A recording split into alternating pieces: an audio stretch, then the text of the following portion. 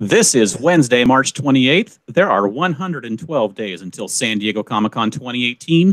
Welcome to SD Concast, the official podcast of the San Diego Comic Con unofficial blog.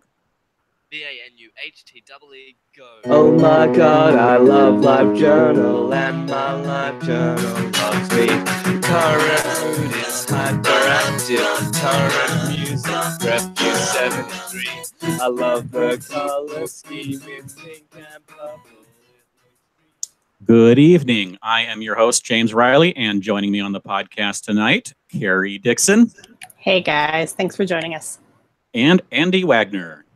Hey, thanks for being here. All right, so we're going to take comments and questions probably throughout the show, but definitely at the end of the show.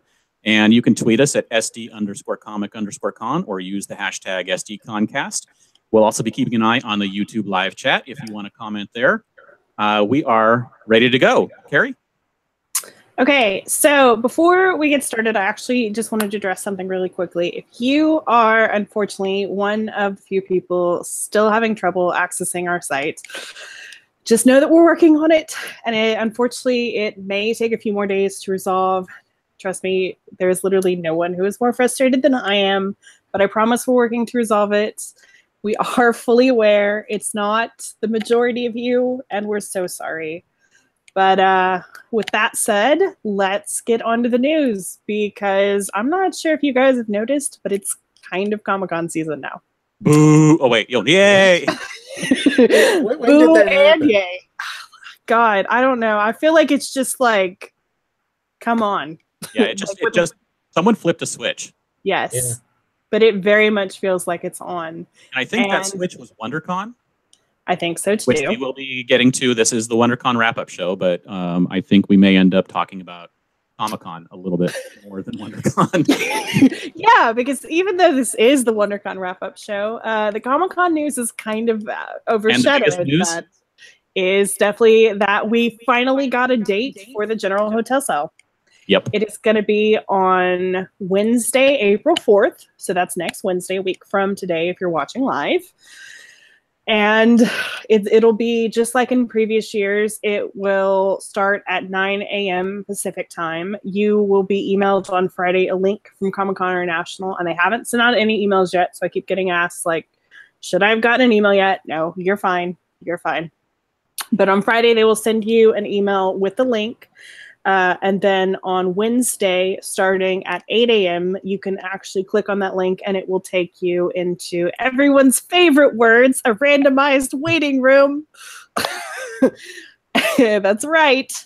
And then at 9 a.m., uh, basically it'll go live. And if it works like last year, it'll be through a system called Queue-it. And all of a sudden, your little waiting room will turn into a little walking man and it'll show you like, your walking man is very close to the finish line, or your walking man has a very long way to go.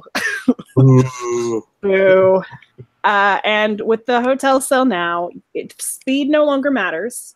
The way that it works is when that little walking man comes up, that's already your timestamp. Like the system already has given you a timestamp.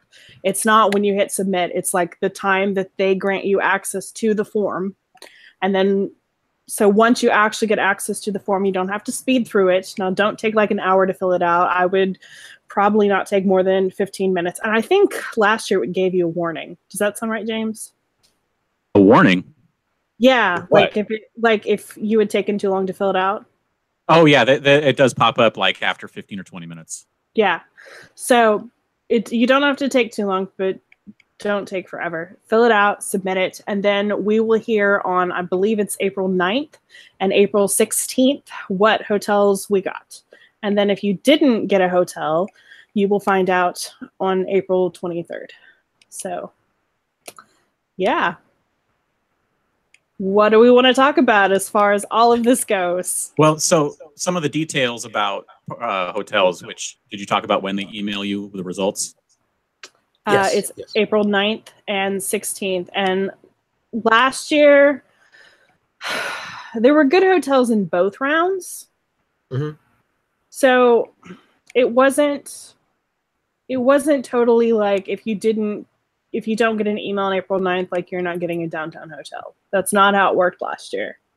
Right. Um, I do believe that there were more downtown hotels in the first round. And also, I think a majority of specific hotels had most of their notifications out in the first round. Yes. And, like, so it was like in blocks of hotels, it seemed. Yes.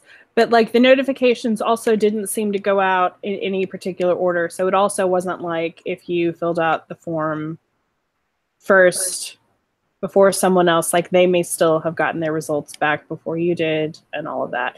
And we get the question every year of like, well, I get great gained access to the form before person XYZ, but they got their number one hotel and I didn't.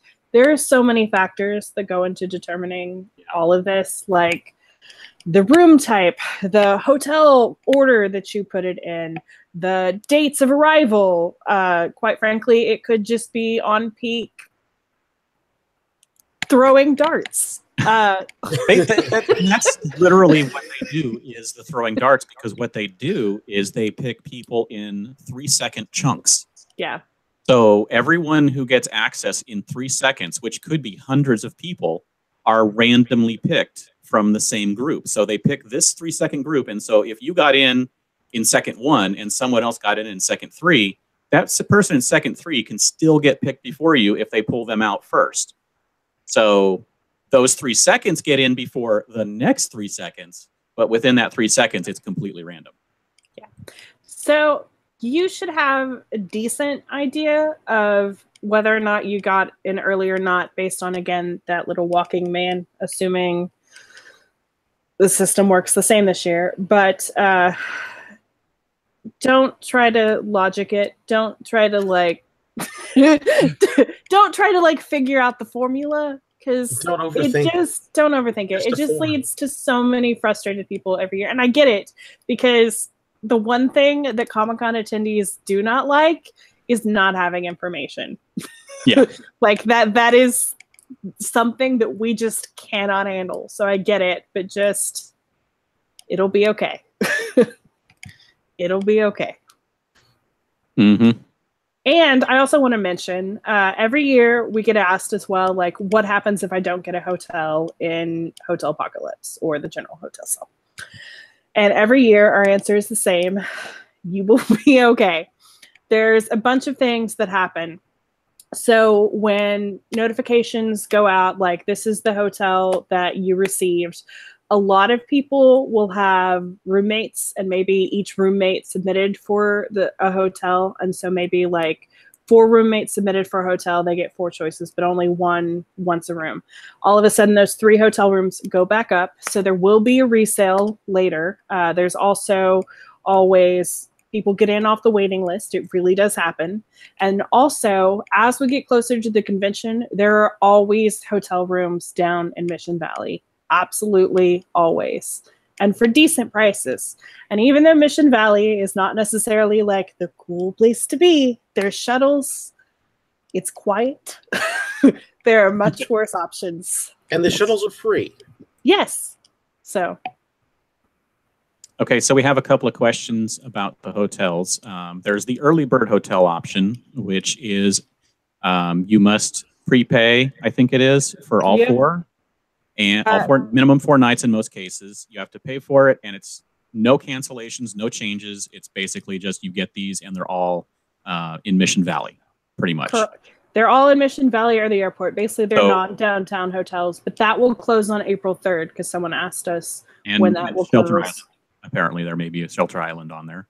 okay So when do the when does early bird close? I think it's right before. it's uh, it's hotel a, sale. It's april 3rd and then the general hotel sale will open the very next day Okay. so And then um, another question from uh, Night Bodega is um, if selected for the hotel lottery, does it give you the total price for the nights you selected and all you have to pay is two nights? yes it does uh, On the it will email. Yes. On the email that you receive, it will basically show you like uh, you have selected this hotel, five night stay. The total is $1,800. Your deposit is 800 whatever. Yeah. And then you just have to pay the two nights within three days Yes. and you're good to go until you get to the hotel. And then it's a normal process. So if you give them a credit card and then you get charged when you leave. Yes. Um, and then just to answer some general questions, if you get a hotel and you don't want it, you have two options. You can either do absolutely nothing and just not pay the deposit, and then it will be released. You can call onPeak and tell them you don't want it, and they'll release it. Um, so both of those are an option if you don't want the hotel that you receive.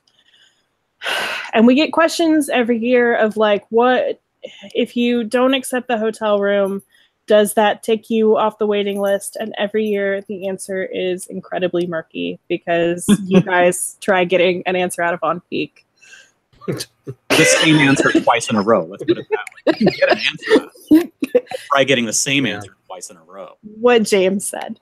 So we get asked that every year, and I wish I had a better answer. And every year, again, the answer seems to just be luck of the draw.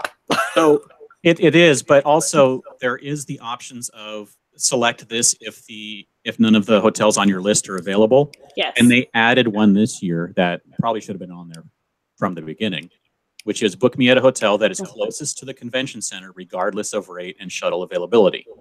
So that basically is for the people who want downtown or just whatever they can get that's close. They don't care how much it is. Just put me close to the con.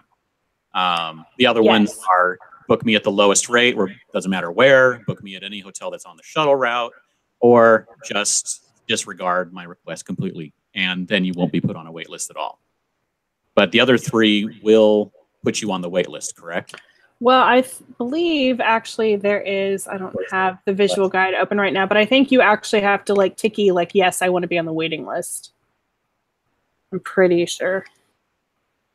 Hold on, and I will tell you. So, so yes, the taking you on or off the list is based on the options you choose when you submit your form. Yes. So there's it, there's actually like a ticky box that says waitlist preferences.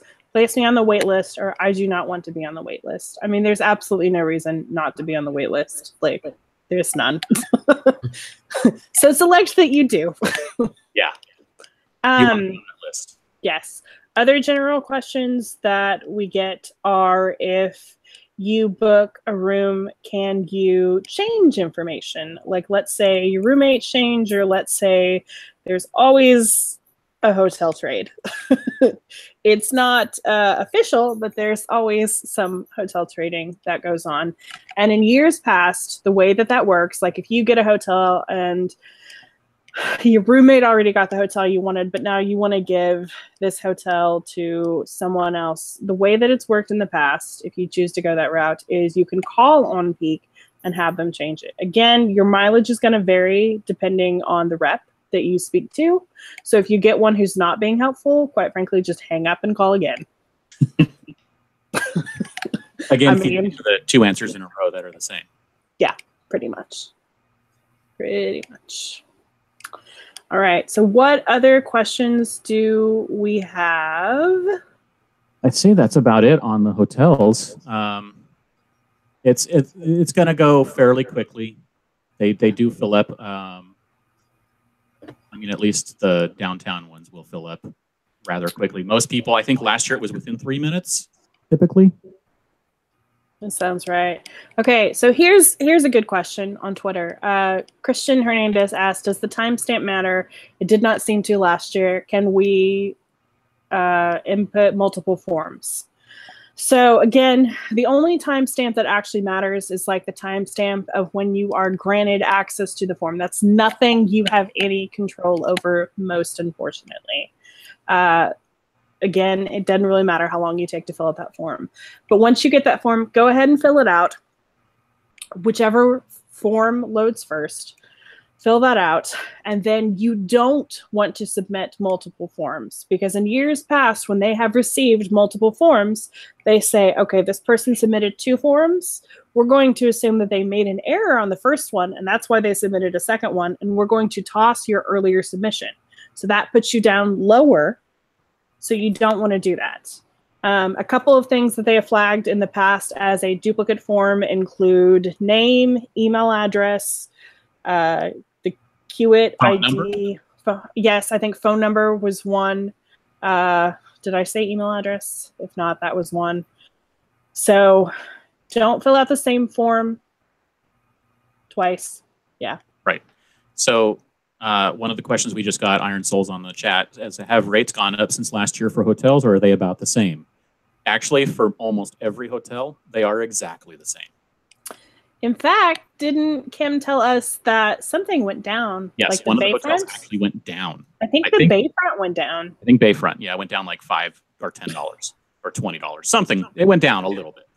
So um, I think this is because uh, a couple of years ago, when they were negotiating uh, to stay in San Diego for a few more years, they made uh, the hotels uh, holding their rates as a um, uh, as a you know you you must hold your rates or we're not going to stay here basically. So it, they basically put the put the screws to them and made them hold their rates for a few more years. Yes. Yep. Yep. Yep. Yep. Uh, I think that's about it on hotels. So good luck, everybody. Um, as usual, we'll be trying and we'll keep an eye on everything and let you know. And hopefully, there's none of the previous years' uh, errors repeated. They may come up with new errors, but hopefully, no repeats of thought previous. You know, you know what though? Last year, I think because they instituted the randomized waiting room, the process went so much smoother.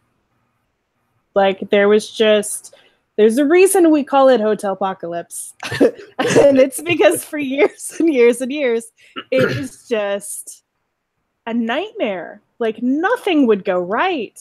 Like remember that year that the form screwed up for a third of people and they just kind of went I got that. That was that was exciting. Not being able to do the pull down menu at all, and when like freaking out about what's going on. Yes, and so then they like sent you guys another form to fill it out, and then some people wound up with like three hotels, even though they only submitted a form for one. I remember people got placed in a room with roommates they'd never heard of. Right. Like yeah. weird, awful stuff happened.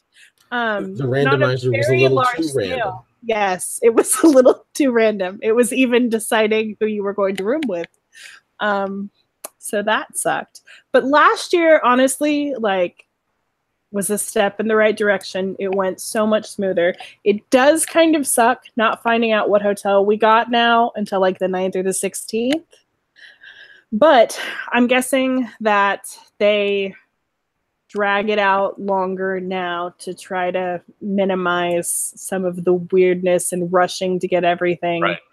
finished that caused a lot of the errors. So it is understandable. A little slower, hopefully fewer errors, and then we're good to go. Yes. Yes. All right. So we have a reader poll up, right? Yes, we do. And it is going to close at 12 p.m. Pacific time tomorrow. Uh, we would love if you would go vote on it. It basically just asks what is your number one preferred hotel, and you can choose your number one preferred hotel in downtown, Mission Valley, and then the other areas. And then every year we take a look at those results and we basically go, okay, these are the most popular hotels. So as you fill out your six, and that's the other thing we didn't mention on the form, you can submit up to six downtown hotels and six hotels in a different area. You do not have to choose 12 hotels. You can literally just choose one hotel and submit it. And that's And the just hope. only Yeah, and just hope. And then, and then if you like, if you want downtown and there's only one ho- downtown hotel you really want, you pick that hotel and then you pick the option for if my room is not available, pick the one closest to the convention center. Yeah. And they'll just throw you in the closest room if it's not your preferred hotel that's available. Yes. Yes. But uh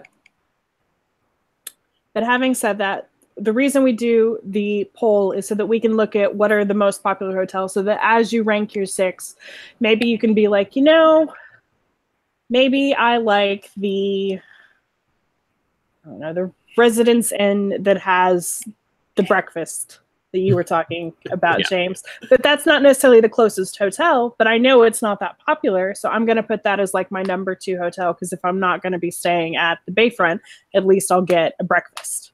Like th- that kind of logic. So, The, the logic everyone applies to their hotel choices is is sometimes a little odd, but it's it's a very personal someone choice. someone's going to be like, Pendry man, that's got to be an awesome hotel. It's the most expensive. I'm staying there. You know what? Okay, so Here's the funny thing. We were so excited last year when the Pendry opened because it opened before Comic Con. So we were like, it's going to be part of the hotel sale. This is going to be great. And then it wasn't. And that's basically because Nerdist, Syfy, and USA bought all of it up. so, but it is part of the hotel block this year. It is officially the most expensive hotel. It has uh, taken that crown from the Hard Rock. so, yeah, if you want to go stay at the Pendry, you might see some sci fi people, I guess. if they book in the rooms there, yeah, it may become Yeah. the new uh, the new Hilton or whatever it was, or, or whatever Right. we're staying now. You, you never know who you're going to bump into on an elevator. Right. That's right. All right. The And then other, go ahead. But the other thing we have that is coming up uh, is parking, which everybody is asking about as well. Yep, yep. So the parking lottery is actually going to open on Sunday, which is a very strange date to me. But I confirmed with Ace today that that date is correct. Uh, there will be a few changes that we know about, but we can't actually discuss it yet. Uh, but we should have some more information about that here in the next day or two. And then, like I said, the actual lottery sign up, because everything's a lottery, for parking will open on Sunday. And then you will have until what is it? It's like april it's like april 23rd or something to fill out the lottery. And then you will be alerted. Yeah you can it's the 23rd of april. And then they will tell you which group you got. There's always six groups first group will start on may 1st and then you'll be able to go in and purchase your parking and then the following monday group two will go in et cetera et cetera so It's also Easter Sunday. happy Easter. At least you have a, at least you have a to do it. But, yeah, so it's basically the same process as previous years, basically. well, it will be a little bit different, but, But- uh, But the, the weekly purchasing for each Yes. group, that that process hasn't changed within the public sale being six weeks later. yes, correct. So that's all the same. So look for that in the coming days and get ready to put in your information starting on Sunday, April 1st. Okay, and now we're on to Comic Con news, even more Comic Con news, uh, because as we said, someone flipped a switch and stuff started happening. So what's up first? Okay, so what's up first is some news that we announced today, which we are very excited about.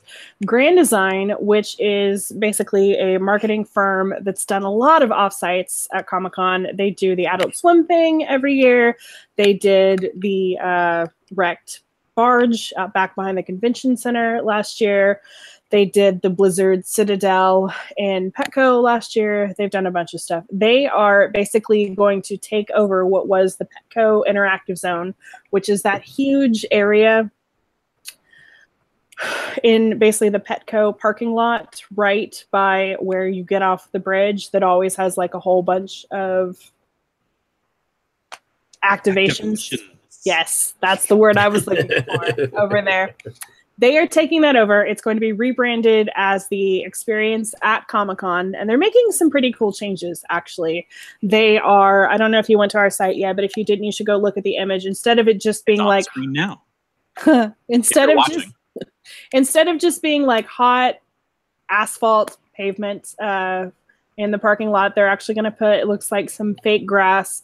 They're going to have seating areas. They're going to have more food options. They're hoping for like 10 food trucks or food stalls or things of that nature.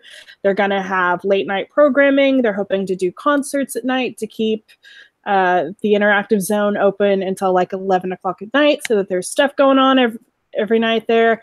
They're going to have some like an adult only area where you can go and get alcohol and and Iron I've a lot Souls of years, right? Iron Souls wins because they just asked, "Is there a Ferris wheel?" uh, not not in the drawing. We're rooting for it. But I am rooting for it. However, uh, if you look at that drawing closely, you might notice the Sleepy Hollow Bridge from a few years ago. Very much don't think that's coming back. But, it could uh, just be a generic covered bridge going to another activation. We don't know. I'm pretty sure they stole that from the Sleepy Hollow. That's funny though. But If yeah, they so that- if they ran it, they didn't steal it. So we'll they see. just, like, looked at the, they just looked at previous years, like, oh yeah, let's throw that in there. Yeah, pretty much. But yeah, so it should be good. Uh we're excited about what they're gonna do. So All right. And also, what we've got is Rave of Thrones, potentially.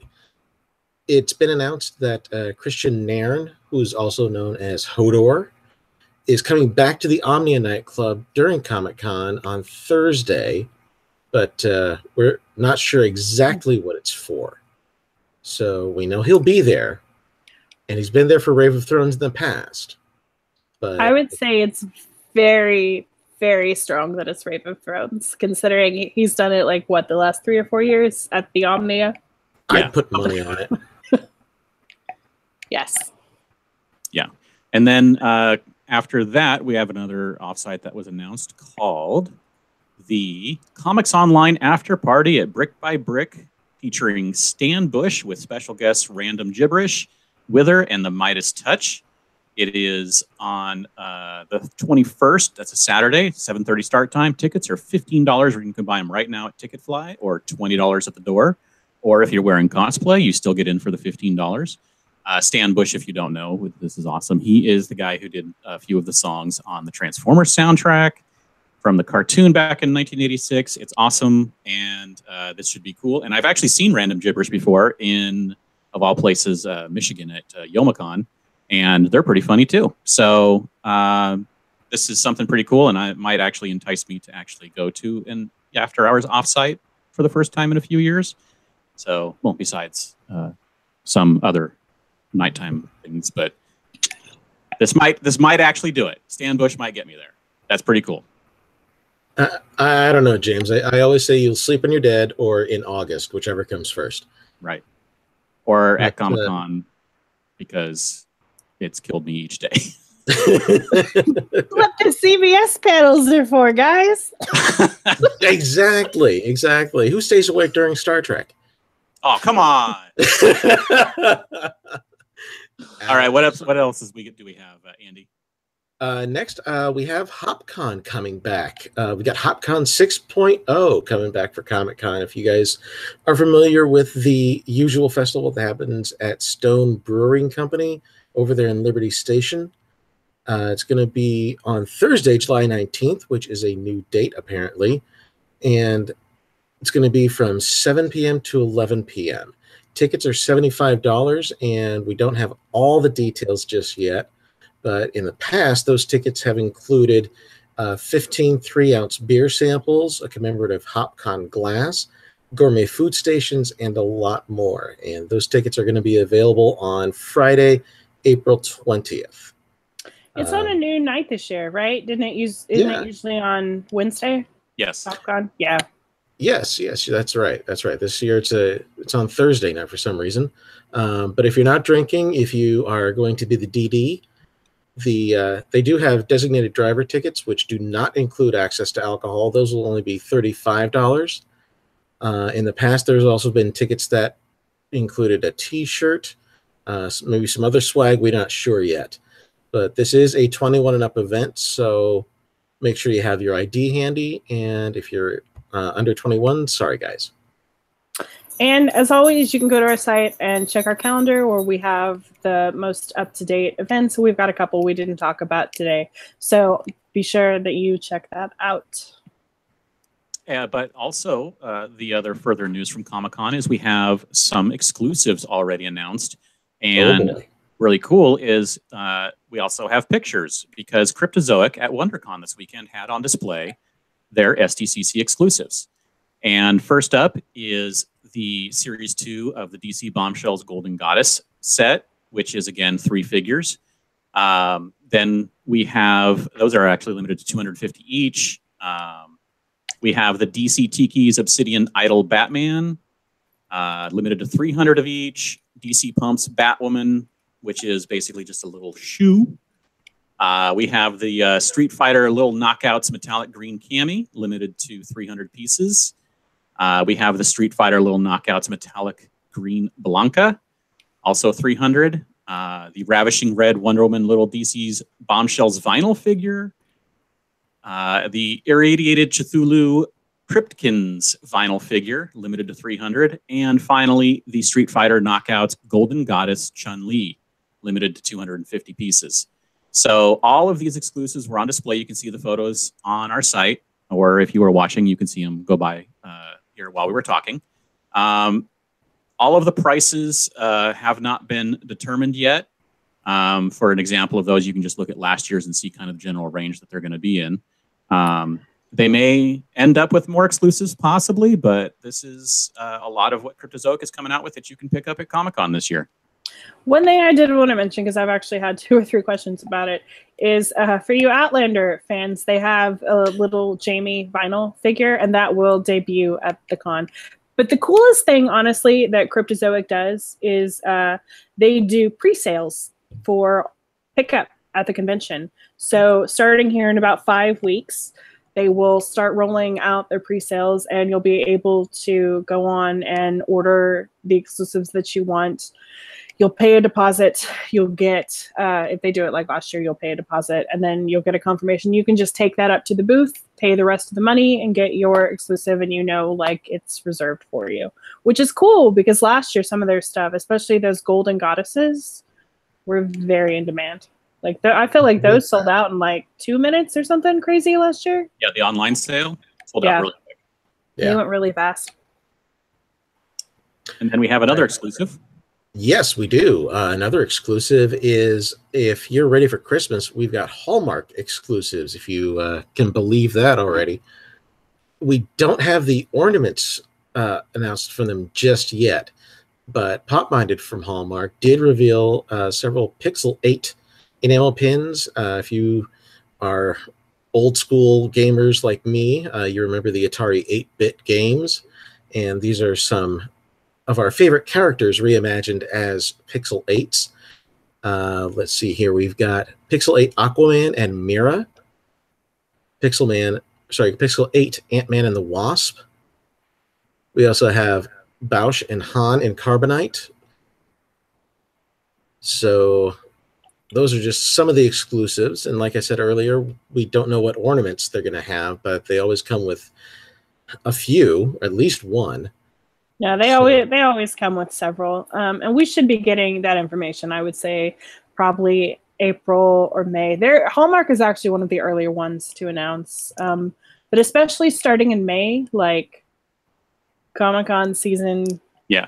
is on. really kicks off yeah um, and we don't have prices on these yet either so keep checking back for that we'll keep an eye out for that All right. And well, comes what everybody is wanting to know about. Not just WonderCon, because it's now time for WonderCon wrap up, but Oh, boy. specifically the new signing lottery that they instituted this year. And let's start talking about it. and uh, what I have to say is, boy, do people have a lot of opinions about this. strong opinion very strong opinions, but so do I, so that's okay. um, yeah, so neither of you actually went to a lottery this weekend, right? I did not. I, I was one of those people who everyone complained about. I entered. I did not win. And then the next day I looked and I did win. I had a super mansion. Uh, but I was getting in line for actually the panels that day where Super Mansion was, and uh, my only goal was really being there for the Timeless panel. And the Super Mansion panel was at the same, or signing was at the same time as the Timeless, so I could not go. So someone else got my my my ticket. Whoever randomly got it in the standby line is the one who got it. Okay, so let's from from what I've gathered, the basic gist of people's opinions is if you won and you went, you thought it went incredibly well. Yes. if you entered and you didn't win, you hate it, um, which is about what we expected. But we did ask over the weekend for people who went what they thought. So I'd before we delve too much into what we thought, let's let's hear from people who actually went, if that's okay with you guys. Sure.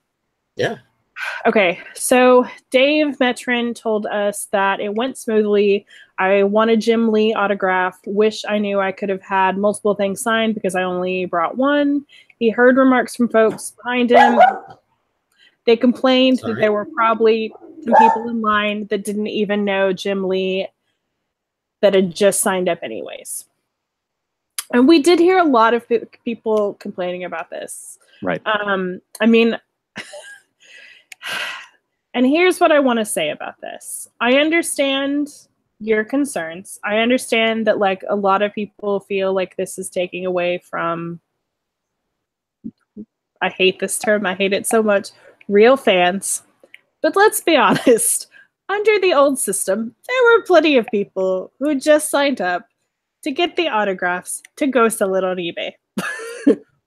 I mean, just look at eBay every year. Like I don't feel as though you can say the old system everyone like truly cared about the show. Right. But yes. Joshua Cradden said, I didn't like it for one big reason lack of communication. I never realized there would be standby lines for people without wristbands in case those with wristbands didn't show up. I would have waited for more signings if I'd known that was an option, but he did get in for, he did win uh, the Super Super Mansion. Yeah, Super Mansion. Uh, Crazy Girl Vid said the con literally kept telling us to stand somewhere that they said was Agents of S.H.I.E.L.D. standby line, and then after hours would say, oh, never mind, it's not. Yes, it is. It's not. So then people who waited less were the ones who ended up getting in. So that doesn't sound like it was fun. No, it does not. Uh, speaking of not fun, Janine Luciero said, I did win Unikitty for Friday. When I picked wristbands up, there was a standby line, but on Saturday, I was told no wristbands would be given out that day. 30 minutes later, they gave out wristbands. And Lauren Sanchez said, I didn't get into any, but I heard half the people who didn't show up for the 100 signing, so they just gave them out to a standby line that I didn't even know was a thing. Wasn't too happy to hear about that when I wanted in on that one. And Gigi Goddess said, I thought it was pretty straightforward, and everyone at the DC Comics booth was super helpful. When we missed our bracelet pickup time, even we still got in. Uh, Z32 Kid says, I won the 100 signing and I think it went pretty smooth. For me, it was so much easier than waiting for hours on end. Uh, example, SDCC, hoping to get a chance to win something.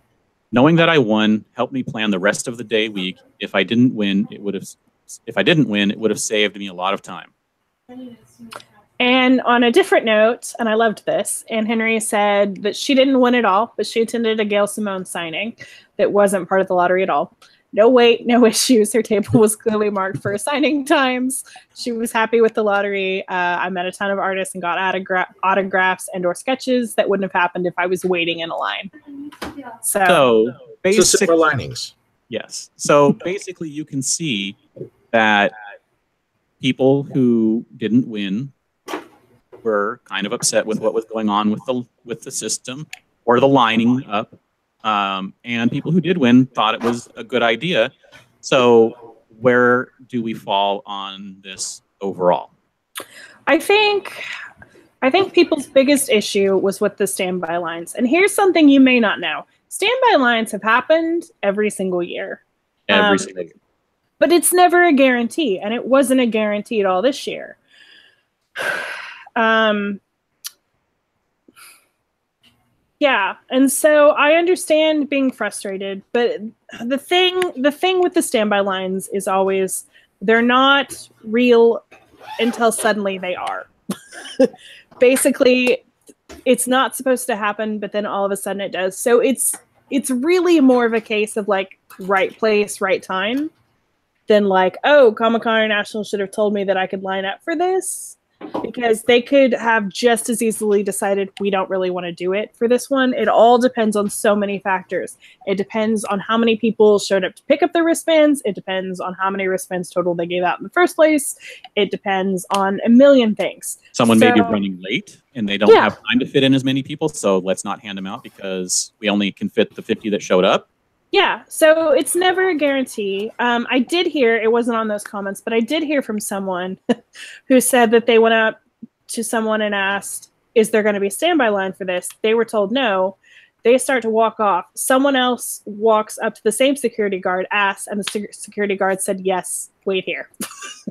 That's not cool. That is not cool. That I would have been severely pissed at. like, if you're gonna give an answer, give the same answer for everyone. Don't like change your answer five seconds later. Um, but again, I understand the frustration. But the thing with the standby lines is just it's never a guarantee.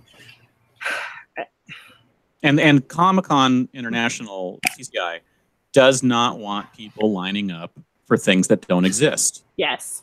because until it does exist, they don't want you hanging around. Yeah. So you kind of have to loiter and not look like you're lining up until you hear that there's hey, there's standby wristbands for this happening. Yes. Yes. So unfortunately, it's like you said, it's it it doesn't happen until it happens, yes. and you can get a different answer every five minutes. you you can literally get an answer Which from a I different think person they asking the same person. that. Yeah. And I need I think they need to be honest with people and say it is not happening until it's happening, and we don't know it's happening until it does, until they tell us it's happening. Yes. And they need to be very clear about that. And I think what you said at the beginning of the show is we just want to know. Let us know, even if you don't know specifically what something, let us know what the plan is. We will have standby tickets or wristbands if they're available, but we don't know until half hour, one hour before. Come back and check. We don't know. We may find out in five minutes, we may find out in an hour, but until it's announced, there is no standby line.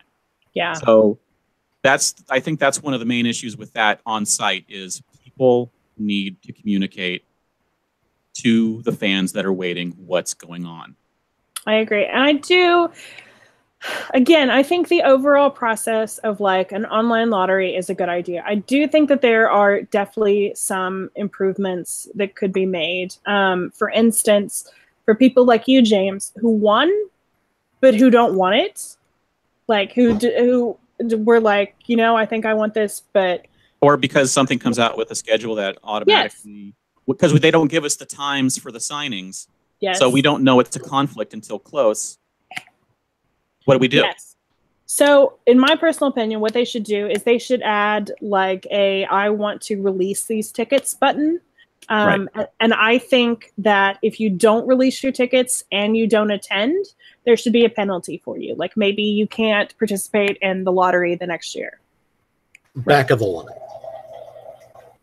Yeah. No, I, like I think it needs to be like an actual punishment for like Yeah. you signed up for this, you didn't use it. Uh, it like it causes it causes issues. I mean, Right. it really and truly does. And because I think that some of the uh, living near LA, you you do get to go to things like uh, tapings of shows and such. And for uh, companies like One Iota, who runs the Conan ones, they do say in some of their fine print that if you sign up for an event and then um, you don't show up, they will keep you from signing up for future events. And and so something similar to that should probably be instituted for these signings if they're going to have them happen online. Yes, I I completely agree, and I think that's a I think that's a great idea.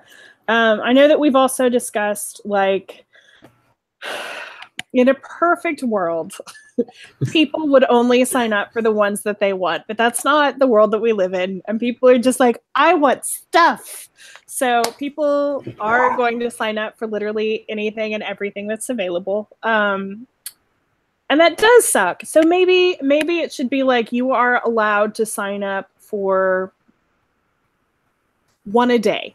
You know, like choose the one that you want that day, or a day, five for the entire show, ten for the entire show, some limit. Yes, there should be some kind of limit on it. And again, if you win and you can't go, like you have to release it, or you don't get to participate the next year. so those would be my personal suggestions. Honestly, I would love to hear other people's suggestions for how this could work beyond just let's go back to the old system. Um, and someone asked, Alyssa asked, is the signing lottery for sure going to be implemented for San Diego Comic Con? And the answer to that is it's not for sure. They only announced it for WonderCon, but as Sean Marshall, aka Parks and Cons, told me over the weekend, the reason they call it WonderCon is because Comic Con International goes, gee, I wonder what would happen if we did this at San Diego. if only we had a convention to try it out at. Let's call it WonderCon. with, with, with less stakes. yes, with Yeah. much less stakes, much less people, all of that. So much easier to implement.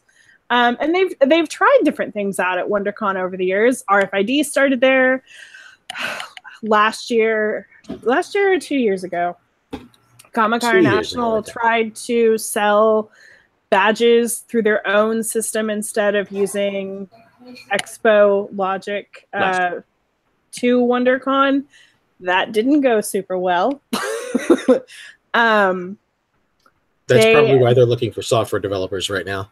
They they used the toucan trackers first at WonderCon, so like all kinds of things start as basically like a beta testing at WonderCon. And in fact, I think even John Rogers in Talkback said, let me see if I can find this quote quickly, but I think he made some comment even of like I would be like we would be stupid not to be testing this at WonderCon.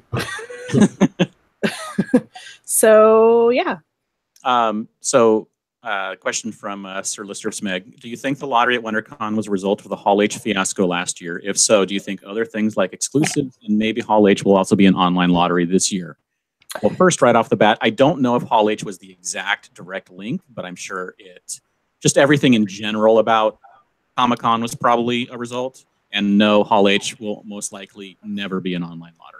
Yeah, I agree. And in fact, we had heard the rumor actually that this year uh, they would be moving to an online lottery system for autographs last year before the Hall H fiasco even happened. So I don't think that one is impacting the other. Um, I do think the Hall H fiasco is going to make a change to how Hall H is handled this year, but I don't think it's going to involve an online lottery. I agree. I completely agree. I agree And for well. exclusives, um, that because exclusives are not run by Comic Con, it's hard to say if they will implement that because it's it's a lot harder to wrangle all the different companies unless they basically force them to. So It is, but there's really not that many of them up in sales.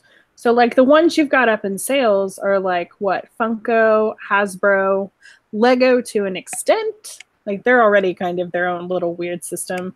But I feel like Lego or not Lego, Hasbro and Funko, like you could easily do an online lottery for. But having said that, I feel like if they do it this year, they will start out with the autographs, see how that goes at Comic Con, and then extend it to exclusives. But yeah, But let's let's point out so that everybody understands that signings at Comic Con have always been a lottery for years.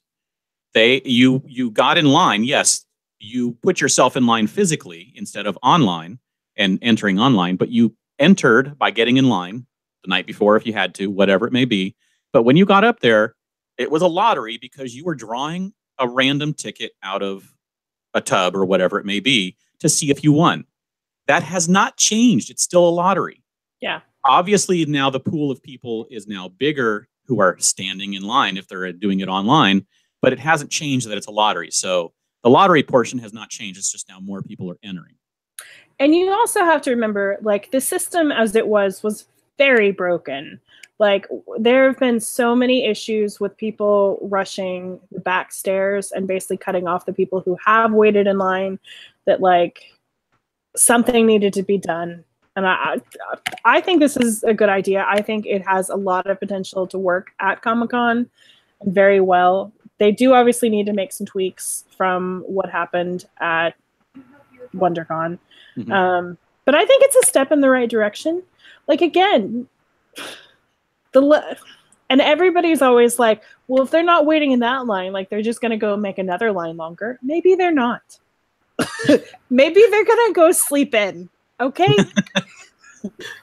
Maybe they're going to go to another signing and discover things that they didn't see before. Yes, yes. And one thing I wanted to mention as well, because we've had a couple questions about this. If they do this at Comic Con, the only companies who I believe will be affected will be WB, Fox, and then the Comic Con ones that were lotteries anyway. So basically, again, the ones up in sales that were lotteries anyway. So it won't be like AMC and Marvel and all that jazz. The ones who run it solely at the booth. Yes. The So- God, I wish they would include Marvel because they're a mess. Yeah. Um, so let me see if there was any tickets. Uh, yeah, that David Nor that was David Norwood's question. So about which events would be included in this. Um, so we liked it.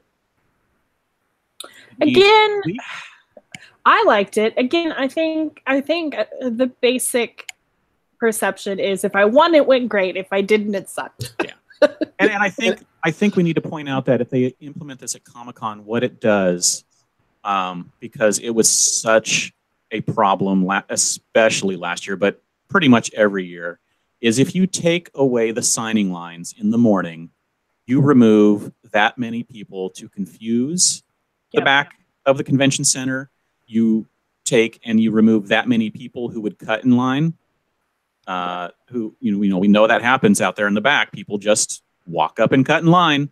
So if you remove that, that kind of negates the there's more people entering because you had more people entering in front of you in the previous process because they cut in line.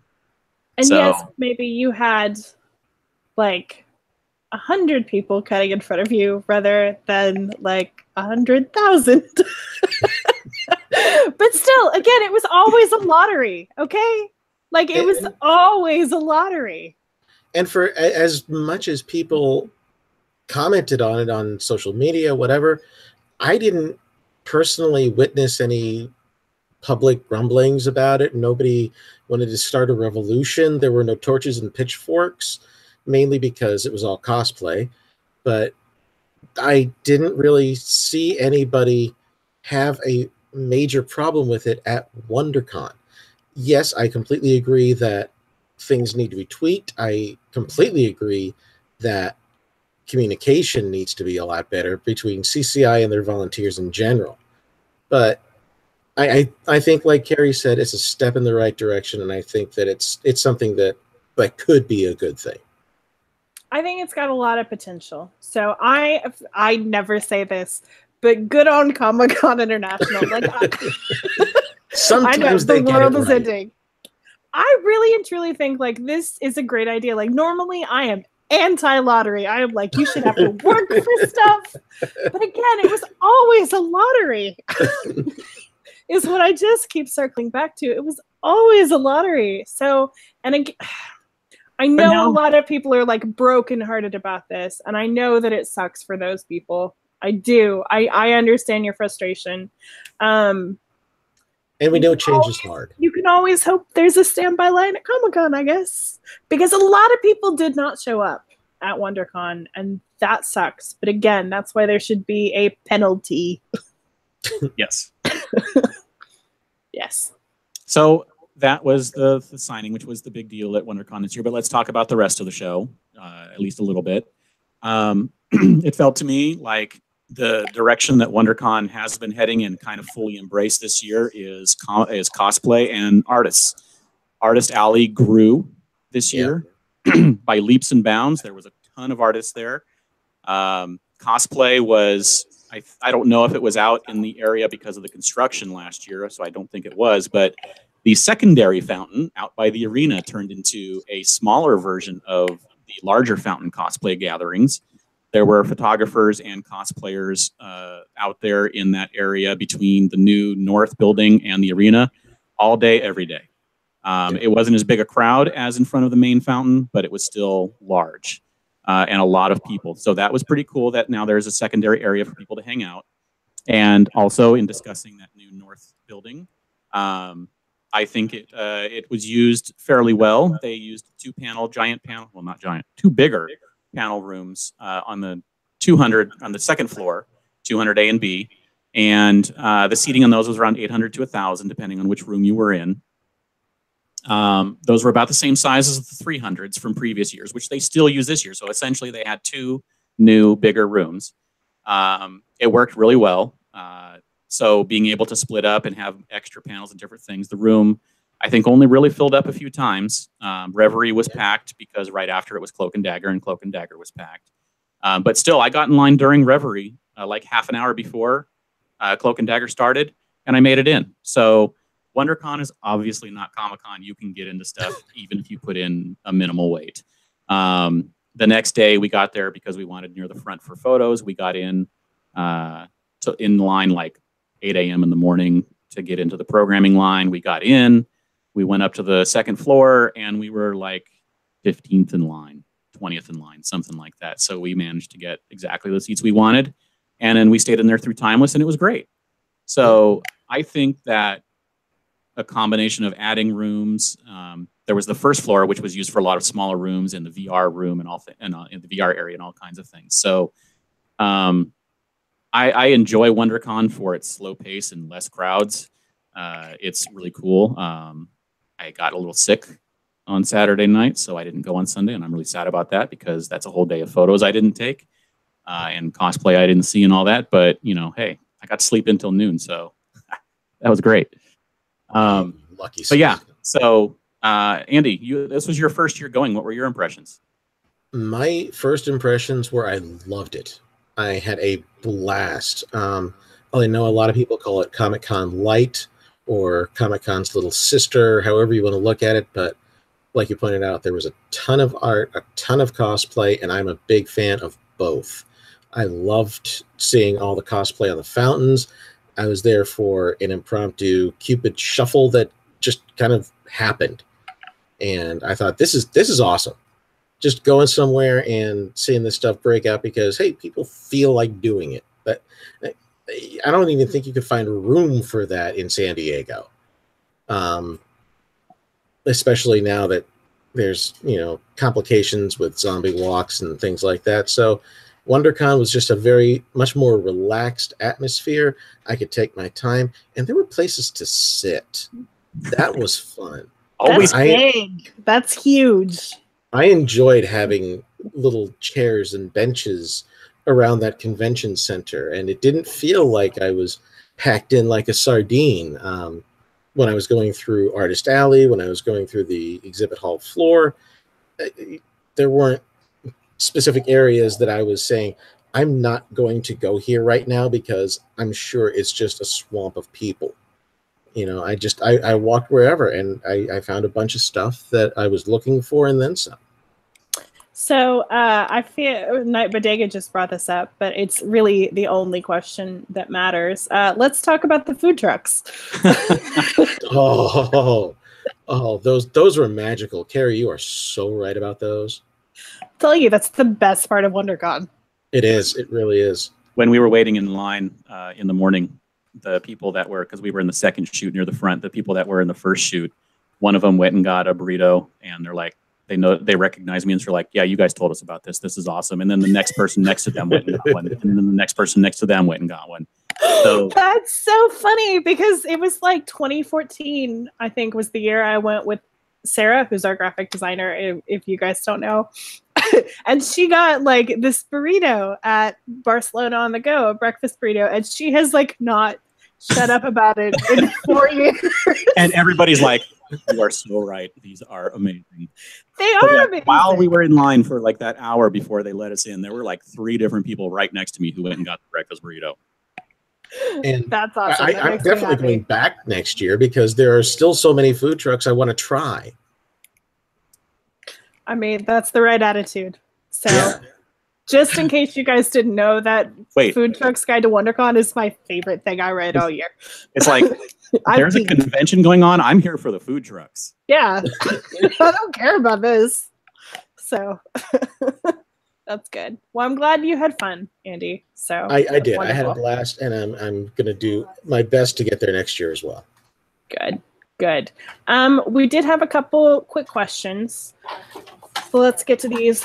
Francis Liu asked, with the autograph lotteries being online, how was the crowd on the show floor? If there aren't thousands of people queued up away from the show floor, wouldn't it cause a surge of people on the floor? Not really. I mean, the WonderCon show floor didn't seem to be any extra crowded more than it usually is. I mean, the show actually, I think, just barely sold out right before the con. Yeah, Uh, I, I think I heard Sunday finally sold out Saturday night. Right. So it was crowded, but it was always been crowded. So I don't think it was because what linings lines like that don't really pull people off of the show floor because ten, people tend to get their signing around the time the show floor opens. So if they get their signing, they may go to the show floor until it's time or whatever they're going to do. What gets people off the show floor is panels that people actually want to go to. And I think that they did a good job of having a variety of panels and most of the rooms being fuller on Saturday. Like the arena was full twice um, for Ready Player One, and I think it filled up or got close to it for Shield. So getting those big rooms filled is what gets people off the show floor. And so when that happens, that's when you have the show floor having a little bit of elbow room, um, not actually people waiting in lines at six o'clock in the morning. Well, not only that, but like we we've talked about this with Comic Con as well. Not everyone who would have been in line for a lottery is now immediately going to go join the same line. Like Right. especially at something like Comic Con, like some of them are going to go join the Hall H line, some of them are going to go join the show floor line, some of them are going to go join this join this offsite line. Some of them are going to go back to bed like they should. yes. Yes. So i mean it will i'm sure it will increase lines but i feel like it will be negligible. Yeah. so. And again, the, the benefit is the less people cutting in line and the less, if there's literally thousands or at least a thousand people less in that area in the morning, that is a thousand less people to cause havoc with the other lines for the exclusives and such. So it's a positive. and not only that but as we talked about earlier what is the number one thing that convention attendees want information how much nicer is it to know like hey i ha- i'm getting this lottery before the convention even starts Right. like i think that's invaluable You can they- plan they should- ahead. They should tell you the time before you pick up your Yes. wristband. They should. Telling us the time, it does not cause any issues. They, No. um, I think where they are uh, hesitant to give out information is because some of the signings happen in rooms that are off the beaten path, um, out of public view. So they don't want to advertise where those rooms are. You don't have to tell us where it is, but if you tell us when it is, we can plan the rest of our day. Yeah, That's a hundred percent correct. Yep. Okay, and then Alyssa Gonzalez asks, "This is kind of random, but what do you think the chances are that Westworld will have an awesome offsite like last year? I didn't get to go last year, and it haunts me still to this day." um, first of all, I'm very sorry you didn't get to go. I am very sorry, apparently, that I didn't go to South by Southwest for that Westworld offsite because, oh my god, that looked amazing. Um, but I'm just I am very certain that HBO will do something. Especially with Game of Oh, yeah. Thrones about to end, like Westworld is now the thing that they want to rule Comic-Con. Because yeah, And HBO has always had a big Comic Con presence with Yes. True Blood, Game of Thrones, now Westworld. So yeah, they they're bound to bring something. Yes. Now, I don't know. I sincerely doubt that it will be the same experience that it was last year. I also I don't know if they would bring anything like what they brought to South by Southwest. I don't feel like there's the space to do that, quite frankly. Um Will they do Yeah. something super limited like that? I don't. I don't think they will this time. I think the super limited thing was to get that publicity and to just break into Comic Con with a splash and be like, "Look at us!" And then now they can go back to the kind of the nice and good, but still like let's get a lot of people through to keep the keep the keep it going kind of a thing. But who knows? They could do another limited one. Yeah, I have no idea. But yes, I absolutely think that they will do something. Um, did we have any more questions? I'm not seeing anything. All right. I think we had just a tiny little bit more Comic Con news, James. We did. The convention center has been getting upgrades. Last year, some of them some of them already happened last year, but this year uh, they replaced the sails um, and uh, they did some other things. I think they did something to the floor in the sails area. Well, we had new floor as of last Comic Con. Okay, but the sails now light up. And they look amazing. colors. It, Yeah. it is pretty.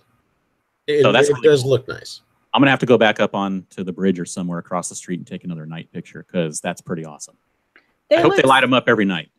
I, I I am very certain that they will. I mean, the convention center, honestly, like they love Comic Con. I don't know if you guys do know this, but like they do special chocolates every year during Comic Con. That's something I learned last year. Mhm. Like they love They're. Comic Con. They're really good. So I'm sure that they will do something cool with those lights, and I'm very excited. Yes. Um, beyond that, as much fun as we have had tonight, we will not be back for a little while. Our regular SDConCast season will actually start on Tuesday, May 8th. And we've already got some really cool guests lined up that we are Oh, yeah. very excited about.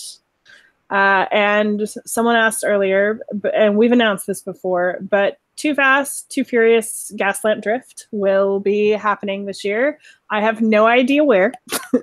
I it, I am determined that it will not cost money. It may, as I threaten every year, it may literally be me standing on the lawn somewhere handing out Dixie cups of water, but it will happen. and so- so will Prize Mule. Yes, Prize Mule is here to stay. So yes, well, I mean, we love Prize Mule just as much as you guys do. Like we love getting to meet you guys. We love getting to post stupid photos with unicorns. Like it's awesome. It is. so Yeah. And I, I have fun with Gerald, and I still have fun with a with a stuffed unicorn, and I don't care who knows.